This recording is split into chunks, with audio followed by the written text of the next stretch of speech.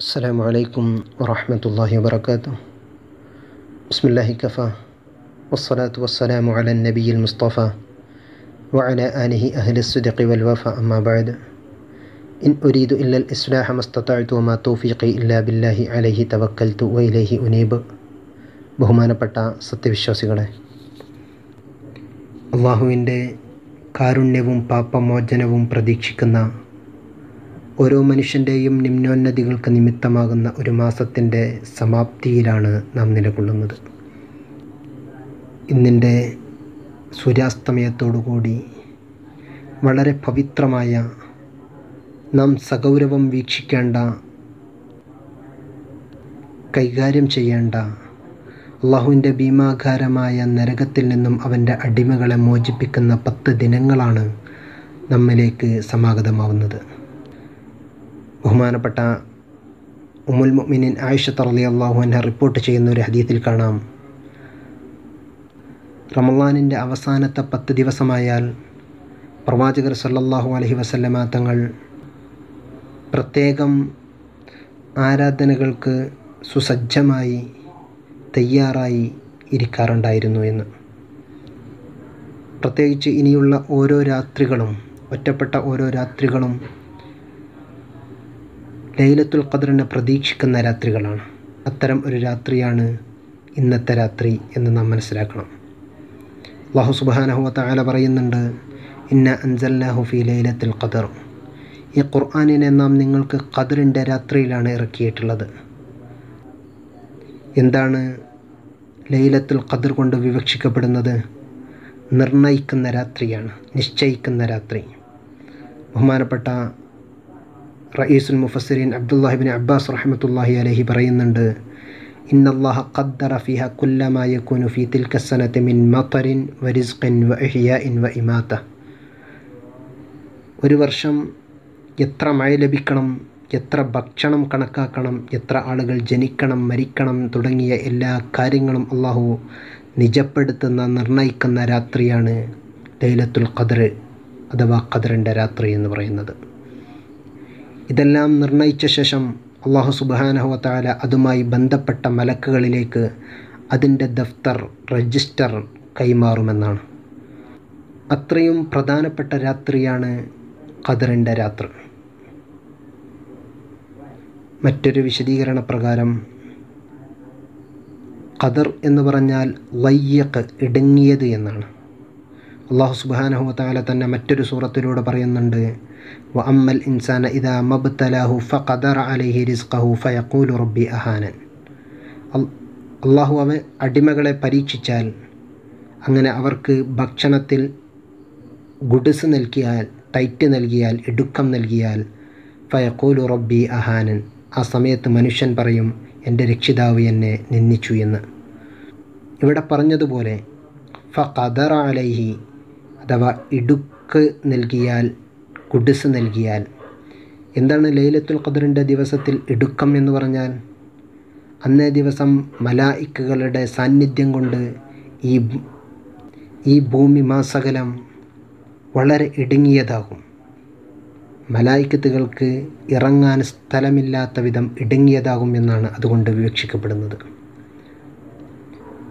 മറ്റൊരു വിശദീകരണം ലൈലത്തുൽ ഖദർ എന്ന് പറഞ്ഞാൽ ശ്രേഷ്ഠമായ രാത്രി എന്നാണ്. കാരണം അള്ളാഹു സുബാനഹു താല ഈ രാത്രിയിലാണ് ഖുർആാനിനെ ഇറക്കിയിട്ടുള്ളത്. അതുകൊണ്ട് തന്നെ ഈ രാത്രി ശ്രേഷ്ഠമായതാണ്. ഈ മൂന്ന് അർത്ഥത്തിൽ വെച്ചാലും വളരെ പ്രധാനപ്പെട്ട രാത്രിയാണ് ലേലത്തുൽ ഖദറിന്റെ രാത്രി. അതുകൊണ്ട് തന്നെ ഈ പ്രധാനപ്പെട്ട രാത്രി ഇബാദത്തുകളെ കൊണ്ട് ധന്യമാകാൻ നമുക്ക് ഓരോ ആളുകൾക്കും സാധിക്കണം. അള്ളാഹു തോഫീഖ് നൽകി അനുഗ്രഹിക്കട്ടെ. ഈ ലൈലത്തുൽ ഖദറിന്റെ രാത്രി എന്നാണ് എന്ന് കൃത്യമായി അള്ളാഹുവിന്റെ പ്രവാചകർ സല്ലാഹു അലൈഹി വസ്ലമ തങ്ങൾ നമുക്ക് പഠിപ്പിച്ചു തന്നിട്ടില്ല എങ്കിലും പറഞ്ഞു തന്നിട്ടില്ല എങ്കിലും അതിലേക്കുള്ള സൂചനകൾ നബി സല്ലാഹു അലൈഹി വസ്ലമ തങ്ങൾ മിനിയങ്ങൾക്ക് നൽകിയിട്ടുണ്ട്. നബി സല്ലാഹു അലൈഹി വസ്ലമ തങ്ങൾ പറയുന്നു ഫൽത്തമി സുഹാഫിൽ അഷ്രിൽ അവാഖിരി മിൻ റമലാൻ വൽത്തമി സുഹാഫി കുല്ലു വിത്തർ. റമലാനിലെ അവസാനത്തെ പത്തിലെ എല്ലാ ഒറ്റയിട്ട രാവുകളിലും നിങ്ങൾ അലൈലത്തുൽ ഖദറിനെ പ്രതീക്ഷിക്കണം.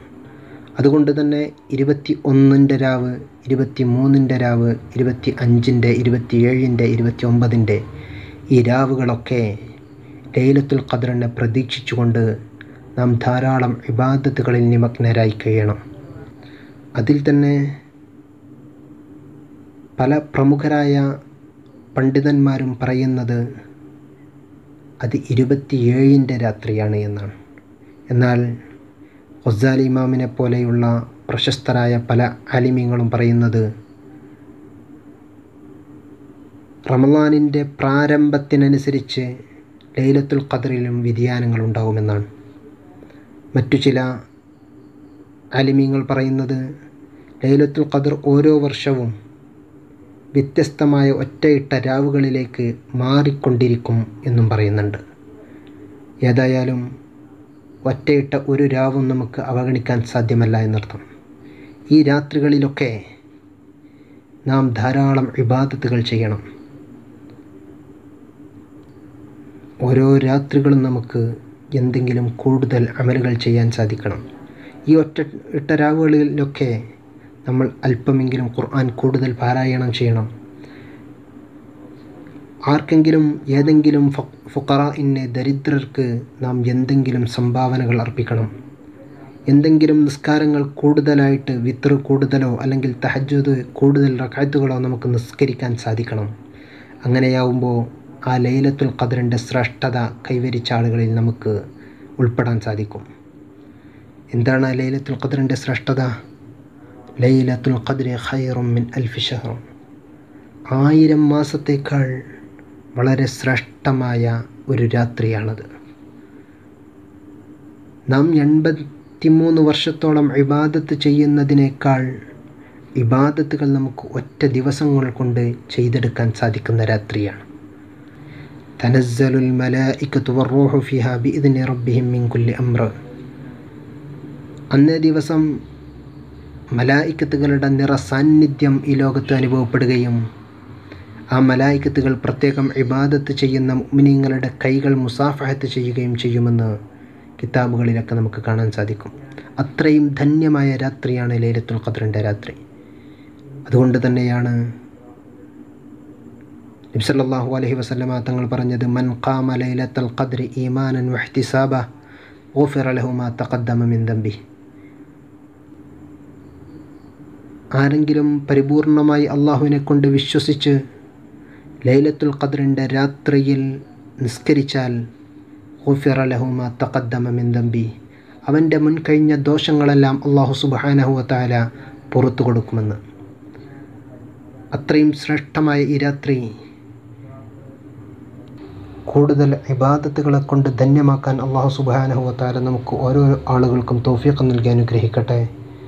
അള്ളാഹു ഈ റമദാൻ മാസം അനുകൂലമായി സാക്ഷി നിൽക്കുന്ന അവന്റെ അടിമകളുടെ കൂട്ടത്തിൽ നമ്മെയും നമ്മളുടെ കുടുംബത്തെയും നമ്മുമായി ബന്ധപ്പെട്ട ഓരോ ആളുകളെയും ഒരുമിച്ച് കൂട്ടി അനുഗ്രഹിക്കട്ടെ. നമ്മളുടെയൊക്കെ ആക്കബത്ത് അള്ളാഹു നന്നാക്കി തരട്ടെ.